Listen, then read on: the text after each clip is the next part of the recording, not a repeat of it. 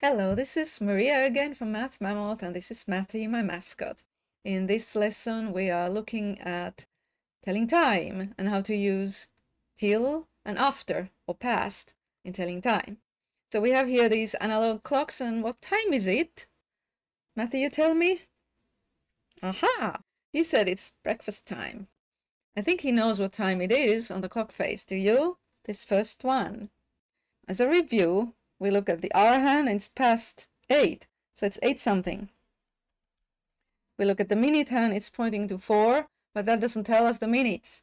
We have to count by 5s, starting here, here's 0 minutes, 5, 10, 15, 20, 820. But now we're also going to say it in another way. We're going to say it using after. We're going to say the minutes first. 20 minutes after 8 hours but people usually say it 20 after 8. It means 20 minutes after 8. Or you can also say it as 20 past 8. And this next one, what time is it? Shall we listen to Matty's ideas? Now he's saying it's lunchtime. You're right. It is 12 hours and 10 minutes.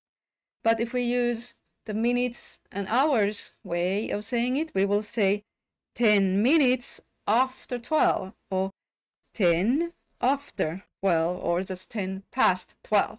Okay, so this is pretty easy, don't you think?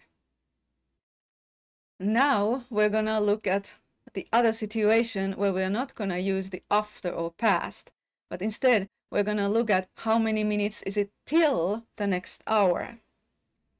In this one here, we see that the hour hand is gonna soon come to 11 hours. It's not yet, but it will soon be 11 hours. So it's gonna be so many minutes till 11. How many minutes? Here's a minute hand, and we count by fives. Okay, from here to here is five, another five, another five till the full hour. So 5, 10, 15 minutes till 11 o'clock. Okay? And saying it the other way, hours first, we will say that, well, it's not yet 11 hours, it's just 10 hours. And how many minutes? You could count from here by fives, but hopefully you'll remember by now that over here was 30 minutes and we get to 45. 10.45 or 15 till 11. Now you try the next one. Pause the video and think about it. How would you say it so many minutes till what hour? I'll consult Matty again. Uh-huh. He says it. What? 35 minutes till? No. It's gonna be... There's a minute hand. How many minutes till? The minute hand gets up here. There's 5, 10, 15, 20, 25. 25 till what? The next hour will be 9. Did you get that? 25 till 9. If we say it with the hours and minutes way, then we have just 8 hours.